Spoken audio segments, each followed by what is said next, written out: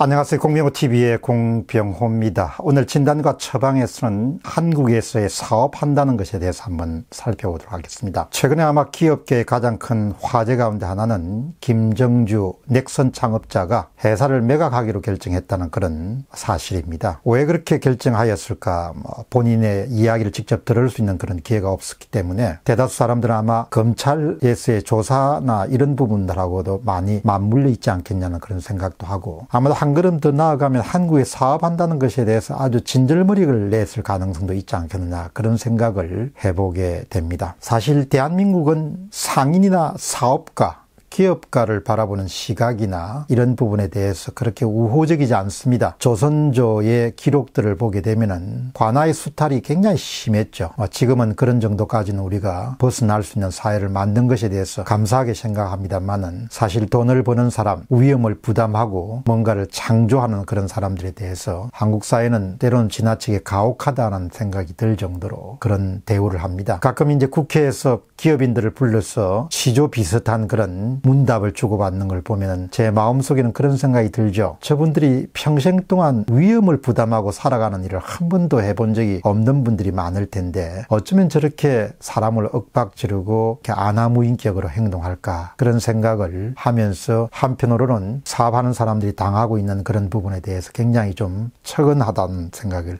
하기도 합니다. 우리가 분명히 알아야 되는 것은 어떤 사회 100명의 사람이 있으면은 그 가운데 리스크를 감당하고 뭔가를 해 나갈 수 있는 것은 한 사회가 가질 수 있는 대단히 희소한 자원 가운데 하나란 겁니다. 세상에 많은 귀한 자원들이 있지만 그 가운데서도 사업할 수 있는 능력, 사업하려고 하는 의지, 사업하려고 하는 용기, 사업하려고 하는 기백 이런 부분들을 갖춘 것은 모든 사람들이 가질 수가 없고 대단히 소수의 사람들만 가질 수 있는 그런 능력 능력이자 역량이자 재능이라고 그렇게 생각합니다. 그렇기 때문에 원론적으로 보면은 어떤 사회가 사업가라는 그런 희소한 자원을 귀하게 생각할 수 있는 부분들이 번영으로 가는 데는 대단히 중요한 조체 가운데 하나인 것이죠. 그러나 항상 어, 민주사회에서는 질투한 부분들이 굉장히 중요한 역할을 하게 됩니다. 그래서 어떤 사회든 세월이 가면서 질투를 제도화하는 그런 정책이나 법령이나 이런 부분들이 자주 만들어지게 되죠. 어떻든 우리 사회가 좀 더 이렇게 이렇게 더 나은 사회를 가려면은 권력이 좀 더 분산돼야 되고 특히 정치 권력이 과도하게 집중돼서는 안 되고 정치 권력이 갖고 있는 그런 권한이라든지 영향력이라는 이런 부분들이 계속 낮아지는 그런 추세를 가지 않으면은 원하든 원치 않든 간에 권력을 가진 사람들이란 것은 사기업이라든지 시장에 대한 개입을 계속적으로 증가시킬 수밖에 없고 그로 인해서 직접 간접으로 발생하는 효과란 것은 대다수 사람들의 삶의 수준이 나아지지 않는 그런 결과로 연결될 수밖에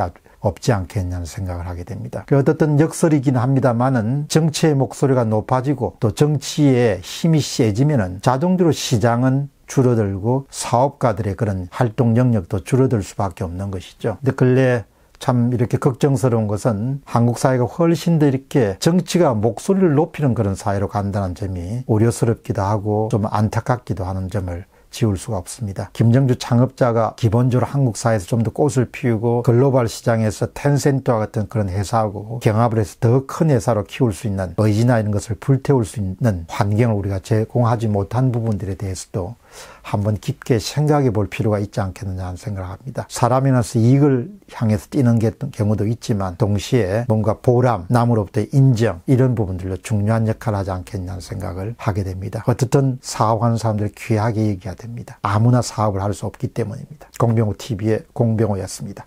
감사합니다.